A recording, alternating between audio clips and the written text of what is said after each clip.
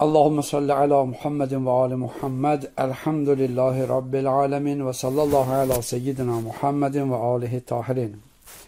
İnşallah bugündən etibarən istəyirik siz əzizlər üçün Peyğəmbər Əkrəmin Şəban ayının sonlarında mübarək Ramazan ayının gəlişi ilə bağlı buyurduğu xütbənin şərhinə başlayaq və bu xütbə bir qədər həcm cəhətindən böyük olduğundan çalışacağıq biz bunu hissə-hissə edək yəni kiçik bir hissələrlə ki, siz əzizlər üçün də qulaq asmağa və qəbul etməyə yorucu və çətin olmaya inşallah.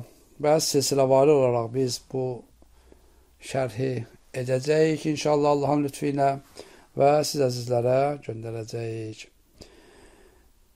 Xütbə sənədinə əsasən İmam Rıza əleyhissalatu vəssalamdandır ki, İmam Rıza öz atalarından bu hədisi nəql eləyir və bu ata silsiləsi gəlib Əmir əl-Müminin Əli ibn Əbi Talib əleyhissalatu vəssalam ağıya söykənir ki, Əmir əl-Müminin ağa buyurdu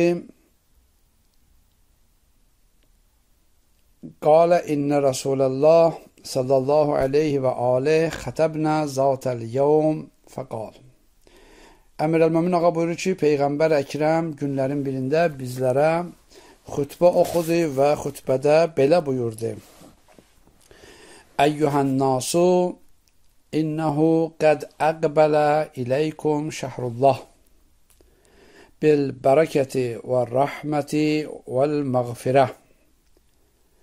Şəhrun şəhrullah bil bərəkəti və rəhməti vəl məğfirə şəhrun huvə indəllah əfzəluş şuhur Buyurur, ey insanlar, həqiqətən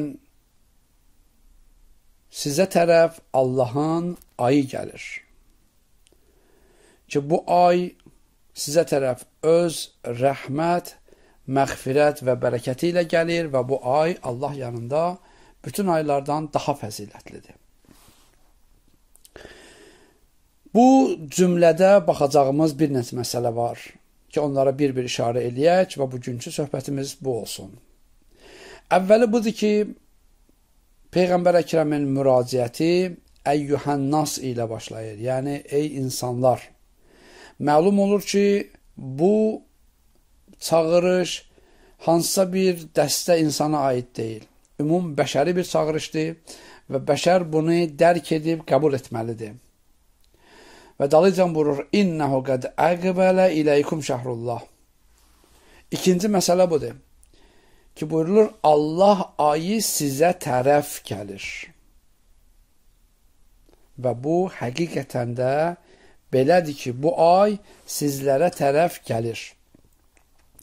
Diqqət olunması məsələ burada budur. Birincisi, bir insana zəng edib bir yolla xəbər etsələr ki, ey insan, sənin evivə möhtərəm bir qonaq gəlir. Bir böyük bir şəxsiyyət sənin evivə qonaq gəlir, sənə tərəf gəlir. Birinci iş ki, biz edəcəyik, bu nə olacaq? Əlbəttə, bunu həmisi insanlar bunu gözəl başa düşürlər ki, əvvəlin iş ki, insanın evinə möhtərəm qonaq gəlirsə, o insan ilk olaraq tez evində baxacaq, əgər natarazlıqlar varsa onları tez yerbəyer edəcək. Yəni belə deyək ki, lori dildə danışaq ki, insanımız üçün başa düşməsi rahat olsun. Yerdə döşəkçə, qab-qaşı qatışıbsa bir-birinə, tez onları hərəsini öz yerinə qoyacaq, səliqəyə salacaq, stolun üstünü düzəldəcək, oturacaq yerlərini rahatlayacaq, təmizləyəcək, səliqəyə salacaq ki, bunun evinə daxil olan qonaq ilk öncə gördüyü səliqəsizlik və çirkinlik olmasın. Əksinə, təmizlik, paklıq və səliqə olsun ki, o xoşluqla bu evə daxil ola bilsin. İkinci işi görəcək evin astanasıdır. Evin zahiri, bayır tərəfi. Tez o bayıra da süpürgə çəkəcək, təmizləyəcək, rahatlayacaq ki, bu təmizlik eləyə bilsin bu qonaqda bu evin sahibinə qarşı müsbət fikir oyatsın və o evi özünə təmiz və rahat bir yer qərar versin. İkinci məsələ budur. Allah Taala buyurur ki, Peyğəmbər Əkrəm buyurur bu sözündə ki, Allahın ayı sizə tərəf gəlir. Aya maraqlıdır, görəsən digər aylar, Şəban, Rəcəb, Mühərrəm, Səfər, bunlar Allahın adı deyil, ayı deyilmi? Bütün aylar Allahındır. 12 ayın hamısı Allahındır. Ümumiyyətlə hər nə var Allahındır. Niyə Ramazana məhz Allah ayı deyilib? Səbəbi budur ki, bu ayda Allahın bəndələrinə olan lütfi o biri aylara nisbətən dəfələrlə çoxdur. 5 dəfə, 10 dəfə hesabı deyil. Yəni milyardlardan yuxarı bir hesablarla çox, hesablarla çoxdur. Bu ayda ki Allah bəndələrinə daha çox lütf edir, bu ayı öz ayı qərar veribdi. Bax indi cümlə belə birləşir. Ey insanlar, hazırlaşın, evinizi təmizləyin, evinizi rahatlayın. Görün sizə tərəf kim gəlir. Görün sizə tərəf nə gəlir. Sizə tərəf Allahın ayı gəlir. Yenə təkrarən qayıtmaq istəyirəm məsələyə. Bütün evlər Allahındır. Amma Kəbə məxsus olaraq Allah adı adlandırılır. Bütün evlər Allahındır. Amma məscidlər məxsus olaraq Allah evi adlandırılır. Səbəbi də budur ki, bu evlərə Allahın lütf nəzəri daha çoxdur. İndi Allahın ayı bizə tərəf gəlir və bizə deyilir ki, baxın, bu qonaq olaraq sizə tərəf gəlir. Və bir məsələni də burada deyək, keçək. O da ibarətdir bundan ki, insan bunu bilməlidir ki, qonaq həmişəlik gəlmir. Qonaq bizlərə tərəf gəlirsə, mütləq şəkildə müəyyən vaxta gəlir. Bir zamandan sonra çıxıb gedəcək. Və o qonaq ki bizə tərəf gəlir, o qonaqdan əgər istifadə etməliyiksə, çalışmalıyıq. Maksimum o gedincə biz ondan istifadəni edək.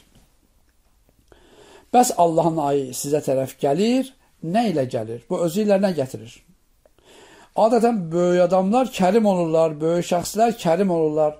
Kərim şəxs insana tərəf gələndə özü ilə bir hədiyyə gətirir. Özü ilə bir ehsanat, lütf gətirir. İndi Allahın ayı bizə tərəf gəlir, özü ilə nə gətirib? Hədisdə buyurulur, bil bərəkəti və rəhməti vəl məğfirə. Bu ayın sizə üç dənə töhfəsi var. O töhfələrindən biri bərəkətdir. Mübarək aydır. Allah bu ayı mübarək qərar veribdir. Bu ayda edilən bütün əməllər bərəkətlidir. Bu ayda olunan bütün işlər bərəkətlidir və bu ayda edilən bütün əməllər mübarəkdir. Xeyir əməllər əlbəttə ki. Və rəhmə rəhmət tərəfdən gəlir. İnşallah e, bu xutbənin o birisi hissələrində bu məsələyə daha geniş toxunulacaq. Bu məğfirət və rəhmət məsələlərinə o cəhətdən burada üzərində çox dayanmırıq.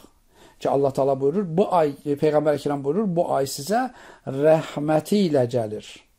Yəni bu ayda ki Allah Taala Rəhman və Rəhimdir.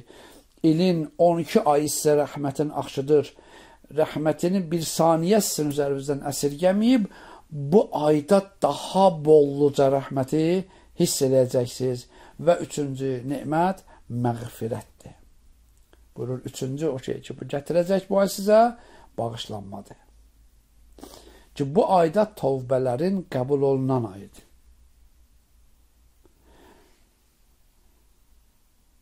İndi bir sual çıxar ortalığa. Bu xütbənin bu hissəsi o suala cavab olaraq gəlib.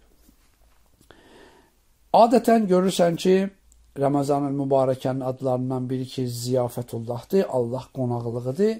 İnsanlar bəzən deyirlər ki, axı bu necə bir qonaqlıq oldu? Adətən qonaqlıqda yeməli, içməli filan belə şeylər olur. Bu qonaqlıq süfrəsi isə ki, Allah təala süfrə açıb, Nə yemək var, nə içmək. Əksinə özümüzü də qoymur nə yeməyə, nə içməyə. Hə, bax burdadır. Bu süfrə yeyib içmək süfrəsi deyil. 11 ay Allah lütf açmışdı, gecə gündüz yemişik.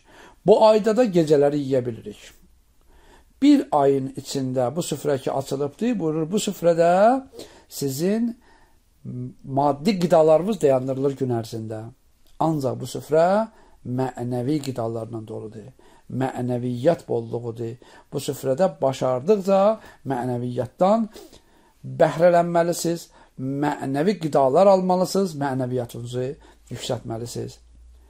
Və Dalıcan buyurur ki, xütbədə Şəhrun huvə indəllah əfzəlüş şuhur və əyyamuhu əfzəlul əyyam və ləyalihi əfzəlul ləyali və saətuhu əfzəlus saat. Ki, bu ay elə bir aydır ki, Allah yanında bütün aylardan bu ay fəzilətlidir və bu ayın günləri bütün günlərdən fəzilətlidir. Bu ayın gecələri bütün gecələrdən fəzilətlidir və bu ayın saatları bütün saatlardan fəzilətlidir. Yəni bu ay elə bir aydır ki, başdan əyağa tamamilə fəzilətdir. Ki Allah Taala inşallah bizlərə nüsrət versin bu ayda gözəl oruç tutub bu mübarək süfrədən qidalana bilək. İnşallah bu dediyimiz son cümlənin daha geniş izahını gələn dərsdə siz əzizlərə çatdırarıq. Vəssalamu aleykum